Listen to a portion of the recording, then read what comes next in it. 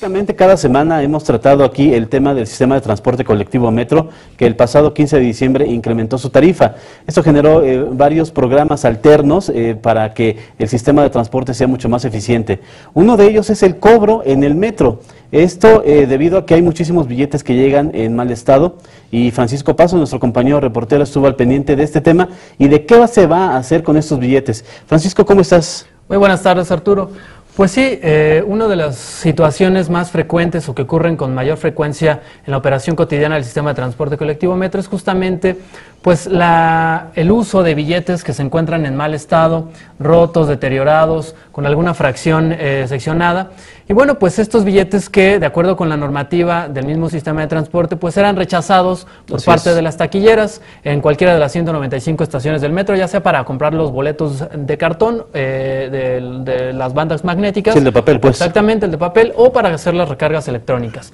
Sin embargo, bueno, pues eh, conociendo esta problemática, el sistema de transporte colectivo Metro y el Banco de México firmaron el jueves pasado un convenio precisamente para poder dar capacitación a los más de 2.000 personas que están en las taquillas, taquilleras y taquilleros de este sistema de transporte, pues precisamente para que conozcan cuáles son los elementos, tanto de seguridad como los elementos que mantienen el valor con los que deben cumplir los billetes para que eh, pues los usuarios no tengan ningún problema al momento de comprar estos eh, billetes. Es decir, los boletos eh, o las recargas. Es decir, si tú llegas ya con un billete eh, a la taquilla, después de que haya esta capacitación a, los, a las taquilleras, ya no te lo van a poder rechazar.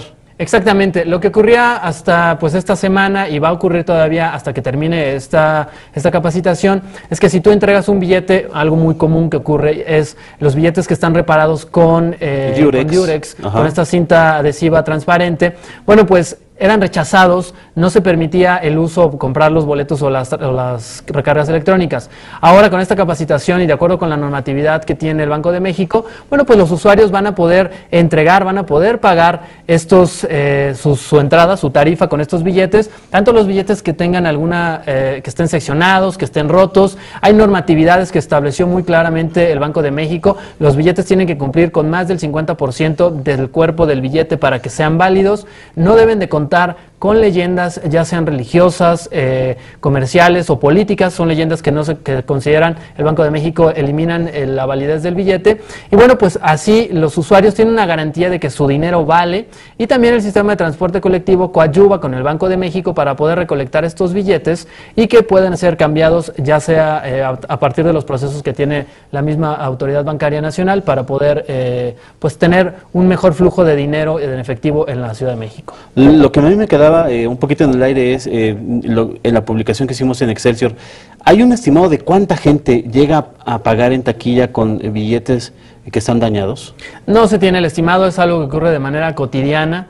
Eh, el sistema de transporte colectivo, bueno, pues tiene sus eh, corridas financieras diarias, pero no se tiene un estimado. Sí, lo que nos comentó el director del metro es que todos los días se da principalmente el hecho de los billetes que están seccionados o que tienen algún tipo de reparación. Es menor el caso de los billetes que se tienen por eh, falsificación. La recomendación que se hizo para los usuarios que tengan la duda de que el billete que portan sea falso, no es pagarlo, tratar de pagar o comprar los eh, tickets del metro con estos billetes, ya que puede constituir un delito.